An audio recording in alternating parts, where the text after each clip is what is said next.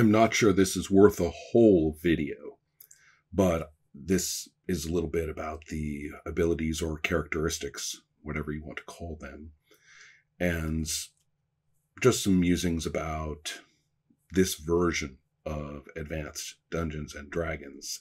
It was quite a surprise to me upon getting the Dungeon Master's Guide and and a bit of a of a weird shifting shocked feeling um, when I saw the various methods for generating these scores. Up until then, it had never occurred to me or anyone that I had met that you did anything except roll them in order using 3d6 and you you took what you got and and did that. Now it was also clear that when you i guess i said it nor anyone i met. Let's just say no one ever said otherwise you'd certainly come to sit down with a table and a bunch of people and made up characters and brought them and i would look to my left and i would look to my right and it was like wait a minute. You know you rolled that? Really?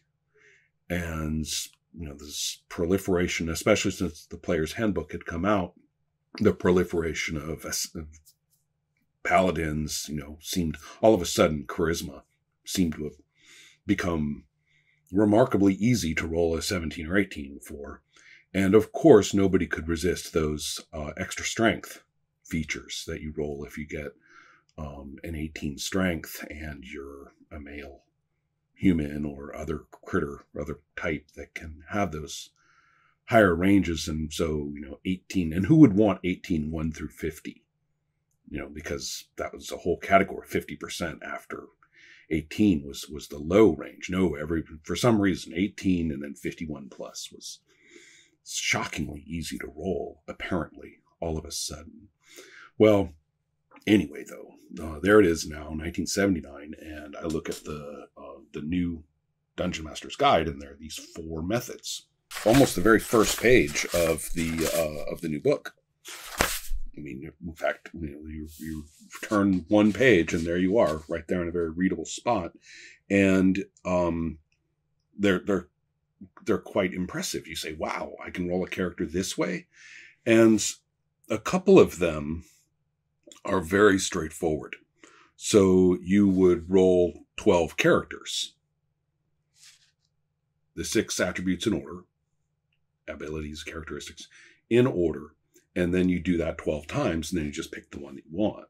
Now, that's kind of what a lot of people were doing in the first place and rolling up characters casually, just you know, almost as a as a way of playing solitaire, um, was very common. I think I had a huge, you know, long list of just you know characters that I'd rolled. Not that I ever played any of them, but I could see that that's definitely how somebody might, in the fullness of time, you know, making up a character, go back to that page and just pick a batch. You know, you rolled it after all.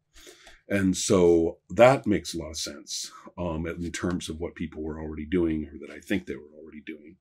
And then there's also um, the idea that you would roll six times for each one, and again, in order, and that you take the highest when you do that. So both of those, that's methods uh, four and three. Um, I'm going backwards. Um, I spoke about those first because they're they're frankly, I found them kind of boring. Um, and the other two were sort of numerically more interesting to me at the time. One of them, number one, um, sort of stuck with me. And I thought to myself, you know, I, th- I think I'll do that. I think that's a that's a nifty way. And it is roll four, take three, and then place them in the order you want. And that struck me as something more along the lines as to what I was enjoying in the fantasy trip, where you had an you know an allocation of points across the three features, and you made the dude you wanted. And this had a little bit more of that construction to it, and it also had sort of an enjoyable uh, possibility of having to work with one or two lower values, but things were not quite as harsh as they had been in looking at all these rules in the player's handbook for what you got for all these high abilities and going, oh, wow, it'd be great to have a 17 wisdom. And you're looking at a character whose scores range from, you know, three to 11. Um, this was a way that struck me as having something to work with. And in my experience using it, you often did end up with this or that, you know, score of five, six, or seven, or something like that occasionally. And it was enough to look at your sheet and say, hmm, what, what kind of interesting person am I going to make up? So this time for this game that I'm playing right now, I actually chose method two, which I hadn't used before, um, which is to roll uh, 3d6 12 times and simply just scratch out the six lowest and then distribute the, the remaining ones as you please. So that's what we did for all of the characters that you're seeing in the, the game. And it's not bad. It's, it, I mean, not bad. And what, what do I mean by that? It's, um, first of all, in my opinion, and I haven't really you know, run any probabilities or something, but as far as I can tell, the result is not as variable as method number one. Um, it is possible to end up with a low score, but across these four characters that we've got, we aren't seeing any. And um, when a couple of, you know, this or that casual test runs, nothing rigorous, um, ending up with a score below 10 in your remaining six is possible, but it doesn't seem very likely at all.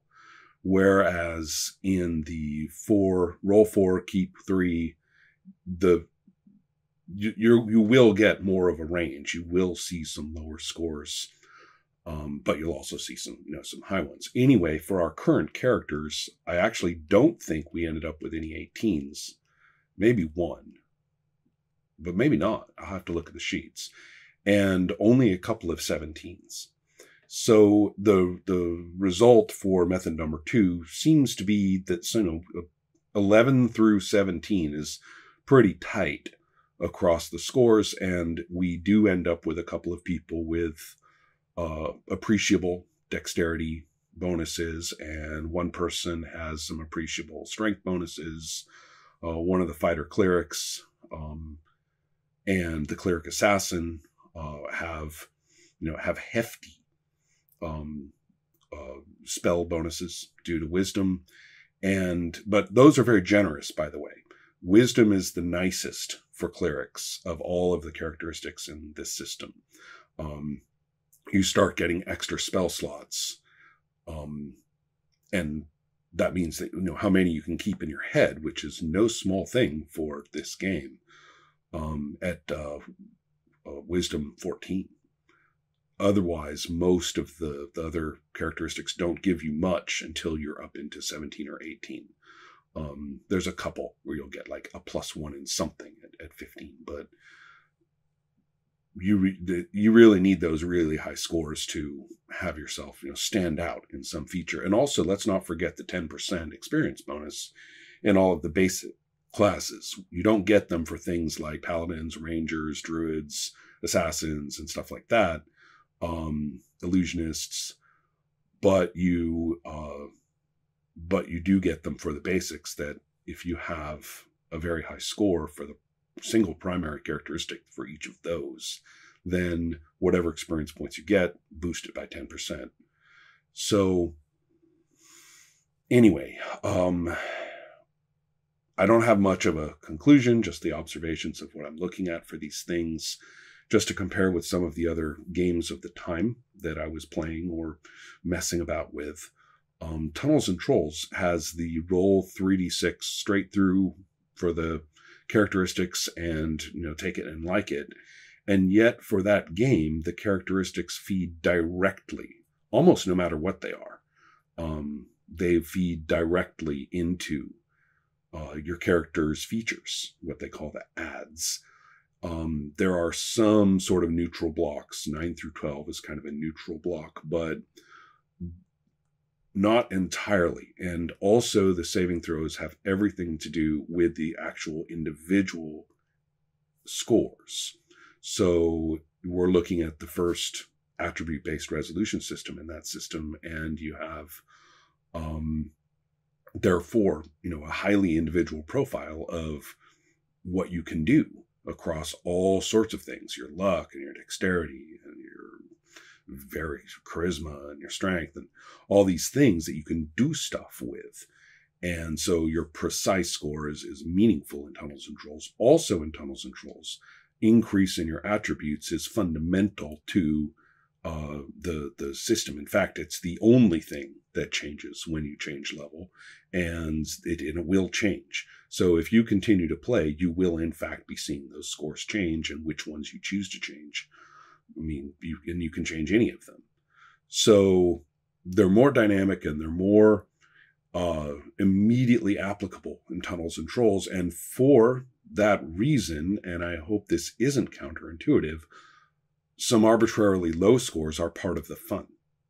So I've seen a lot of people play great Tunnels and Trolls characters off of, if not, you know, utterly wretched. Well, actually, in some cases, utterly wretched. I mean, pretty low scores across the board. And, and you look at it and you say, well, I guess I'll play this dude. And it ends up being, you know, reasonably, reasonably cool. Um, and the situation with D&D at the time was less compelling. Um, getting a bunch of low scores basically didn't mean much, um, but it also was, was, for lack of a better word, a bit boring. And the arguments that people might want to have with me about that, you know, go ahead. Everybody's got an opinion. Um, but if you haven't played Tunnels and Trolls, then you don't really know the comparison, and I don't know what to tell you. Um, the similar situation with RuneQuest, the scores for RuneQuest, well, similar in what way? RuneQuest is kind of half and half between the two. The seven scores um, are also initially in the base rules just rolled in order by 3d6, but then in the appendix in the back, it says, you know, almost immediately, whoa, whoa, you know, we need we need better characters than this, and it gives a, a range of things that you could do, um, including actually just a kind of boring point allocation, so that you know the the average is twelve, and then you just kind of move points up and down as you see fit. Um, but the point being that they were, I think, a lot of these games had put in 3d6 roll in order because that's just what you do based on what they had learned or heard. That's what role playing is. And then breaking with that uh, became um, sort of a of a I don't know revelation or process um, through the course of the 70s. And so you see them in these options and then in a full break with the fantasy trip. Well, anyway, um, looking at the scores brings me to think about leveling up. Um, but I suppose since I'm well past 10 minutes, it may be time to call it.